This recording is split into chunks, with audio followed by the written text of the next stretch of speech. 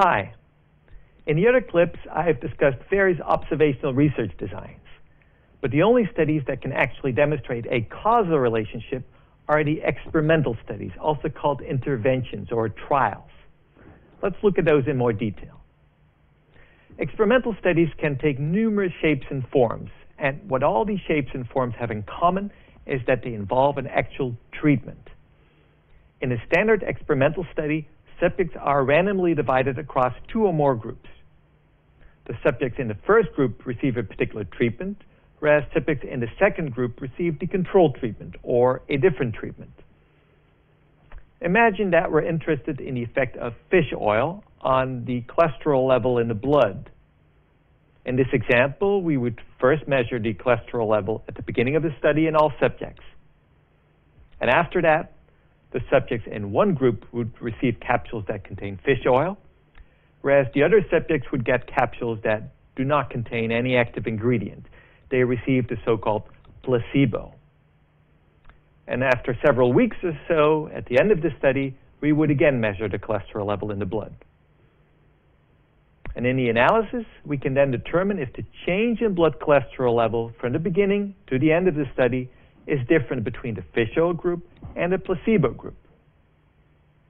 In this case, what's the advantage of an experimental design over an, an observational research design?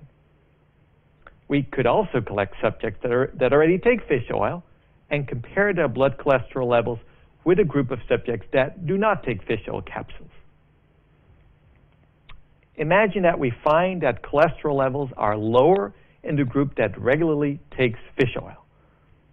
Certainly an interesting result, but also a result that's very tricky.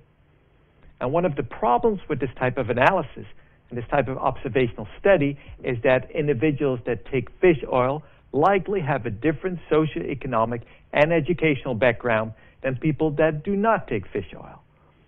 They're probably more health conscious and they're thus more inclined to eat a healthy diet, not smoke, and exercise regularly. All of these behaviors, rather than the fish oil capsules, may explain why people that take fish oil have lower cholesterol levels.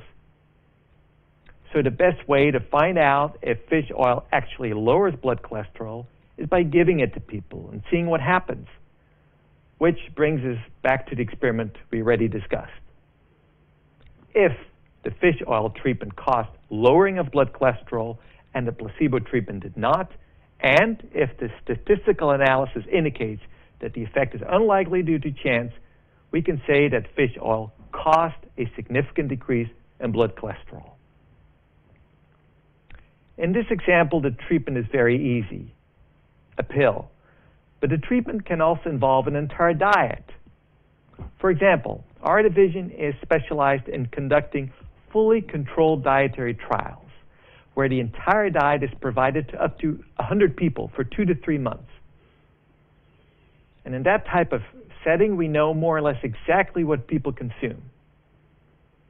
In the past, this research design was used to compare the effect of trans fat versus saturated fat on blood cholesterol. And in a, in a different study, we did a side by side comparison of the Mediterranean diet with a Western type diet and studied the effect on numerous health parameters. A dietary intervention can also be just advice. For instance, one group of individuals is advised to consume more fiber rich foods, such as whole wheat bread instead of white bread, brown rice instead of white rice, whereas the control group is asked to stick to the low fiber varieties.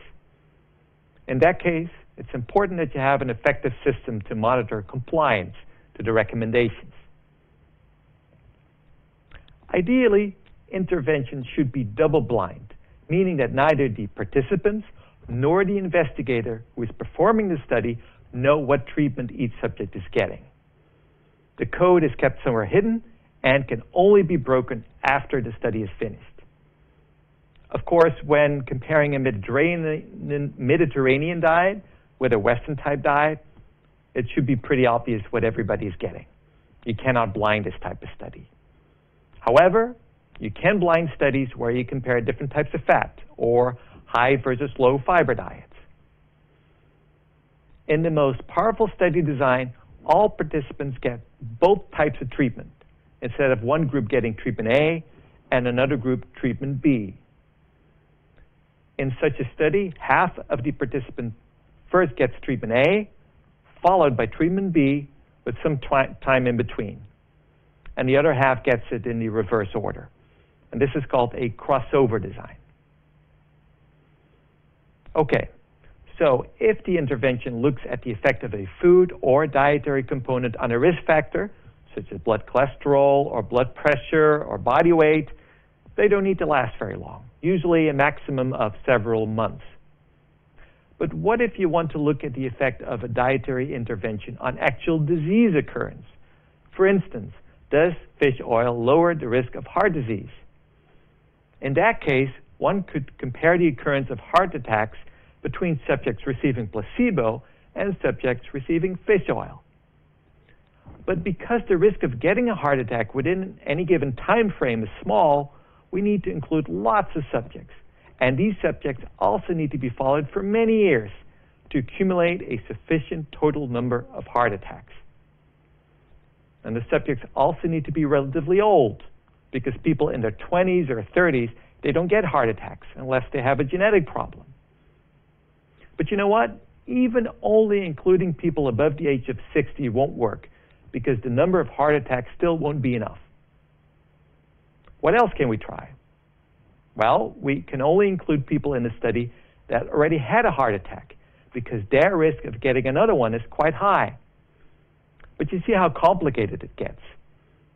And I hope you understand a little bit why intervention studies that actually measure disease as opposed to some sort of risk factor such as cholesterol or blood pressure are very difficult and therefore very rare. When it comes to interventions, almost anything goes except causing harm to people. Any type of dietary intervention needs to be evaluated by an institutional review board, also called the ethical committee. And if the board is concerned about the risks of the intervention, they will not give their approval. Even putting people on a weight gain diet can be problematic because that is perceived as a risk. And in that case, the board may okay the intervention if you make sure that people are guided back to the body weight they had before the study. Taken together, the main advantage of intervention studies over observational studies is that they can establish whether a particular dietary treatment causes a change in certain parameters. None of the observational approaches can do that. Observational studies can reveal associations or correlations, but they do not provide definitive clues as to whether the associations are causal.